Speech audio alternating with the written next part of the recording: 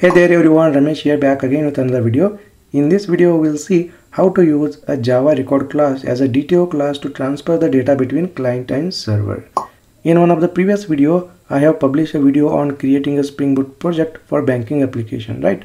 So in this banking application, I have used normal Java class as a DTO class to transfer the data between client and server. And many of you suggested like, can we use you know java record class as a DTO class to transfer the data between client and server. So in this video i'm going to cover the same. Without further ado let us get started. Well if you look at the banking application code here we have used a normal class as a DTO class to transfer the data between client and server. Now we, we are using java 17 plus so we can utilize the latest feature of java right?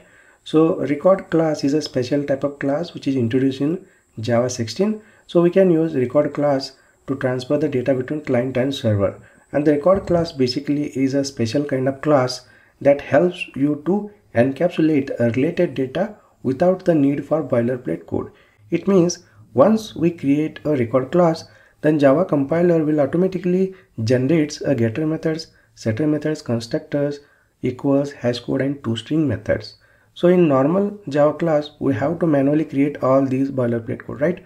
But this Java record class tells Java compiler to automatically generate all this boilerplate code. Using record class as a DTO in a Spring Boot application is a modern and efficient approach to encapsulating data transfer between application layers. So basically record class holds the immutable data and it is a good candidate as a DTO to transfer the data between different layers. Next, records are good fit for DTOs because they are concise, immutable and automatically provide the implementations of getter methods, constructors, equals, hash code and toString methods which are essential for DTOs. So let us go ahead and let us see how to use a record class as a DTO in our banking application. So let's go to our project in IntelliJ IDEA and go to account DTO class over here and here let us go ahead and comment out this code.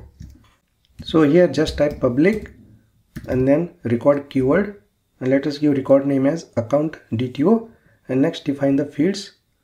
Long id and then string account holder name. And then double balance. Perfect. So basically these fields are implicitly final. So once we create this account DTO object we cannot modify it because records are immutable. Alright perfect. Next let us go to account mapper class over here. And here we have to change these getter methods because record basically provides a getter method name as a field name. For example here let us remove this get id method and then call id next let us remove this and then call account holder name. Next let us remove this get balance and then call balance. That's it. Now what we have done we have created a record account DTO and then we have changed in a account mapper. Okay? That's it.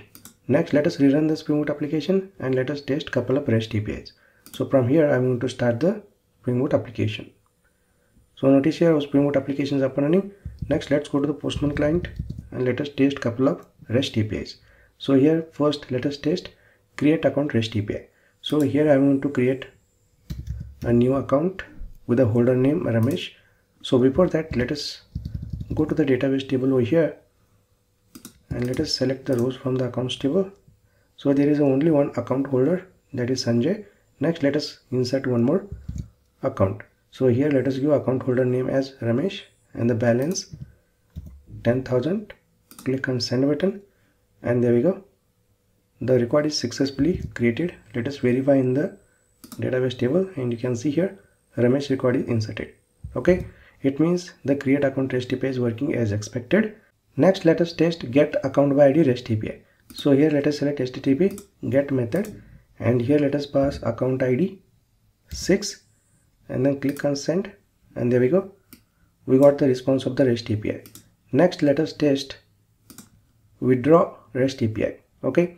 So here let us pass the account ID 6 and then click on send button. So basically look at here the amount 10,000 we want to withdraw and look at here the response.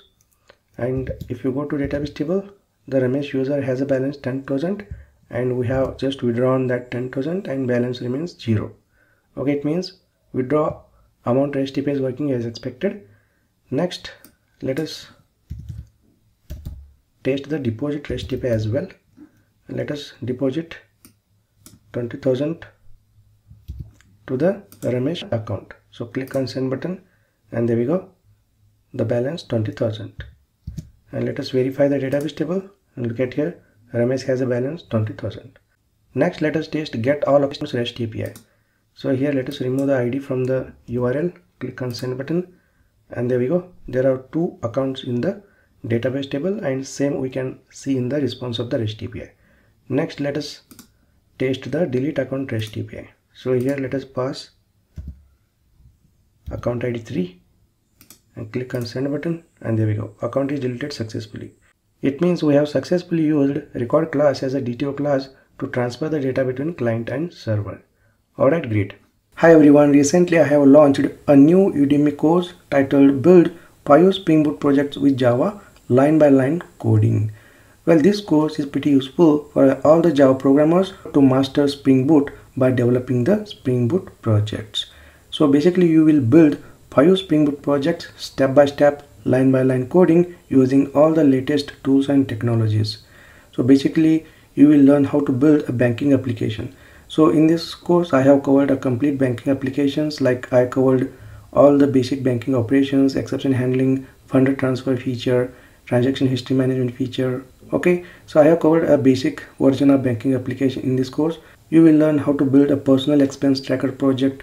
You will learn how to build to-do management project using spring boot spring security jwt all those stuff. Next you will learn how to build student management system project.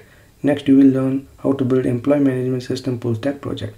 As of now, so I have called these five Spring Boot project in this course, but in future, I will also plan to add a few more projects to this course. Okay. As usual, I'm going to offer a best discount for this new Udemy course. So I'm going to leave the you know discount course link in the video description as well as in a comment section. Okay, do check out.